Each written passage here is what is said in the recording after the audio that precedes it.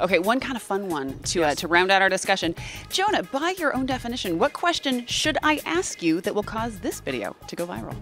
So one thing that causes things to go viral is controversy. Uh, the more that people disagree, the more people are likely to talk and share. So let me say something controversial. Uh, many folks in your audience have probably read The Tipping Point. Uh, fun book, great read. Half that book is wrong.